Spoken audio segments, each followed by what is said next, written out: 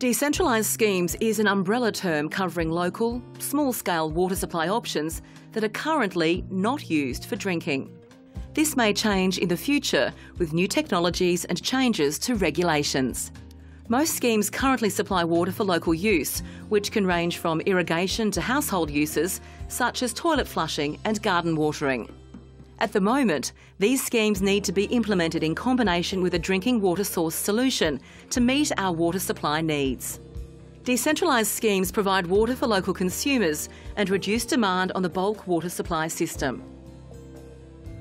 There are a number of different types of decentralised schemes to consider. The first is stormwater harvesting, which involves diverting and treating stormwater runoff from urban catchments for local use. The viability of stormwater harvesting depends on catchment conditions, climate, soil type, the landscape, available storage and demand.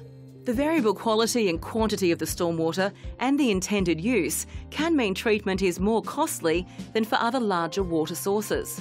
One benefit is a reduction in localised flooding because the stormwater is captured. Regulatory frameworks and quality management schemes need to be established for stormwater harvesting to be a viable option.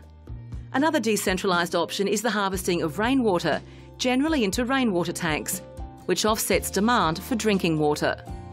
The quality of rainwater is better than that of stormwater, but there are currently no quality control measures in place.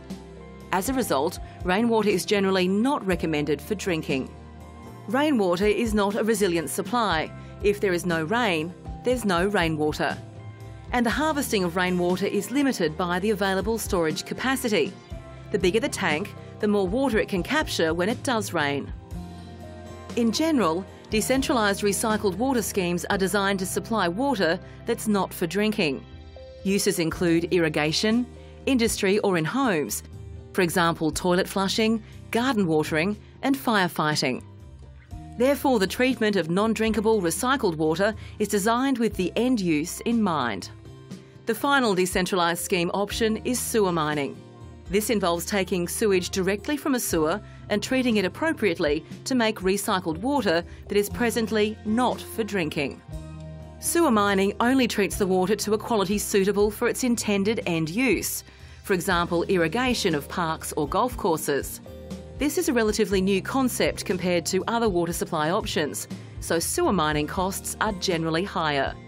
The cost should reduce as technology improves.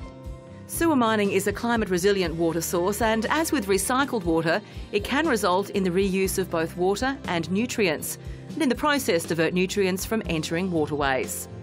To recap on all the decentralised schemes, stormwater harvesting can provide benefits during times of flood, but is not a very resilient option, and at this stage, it's costly.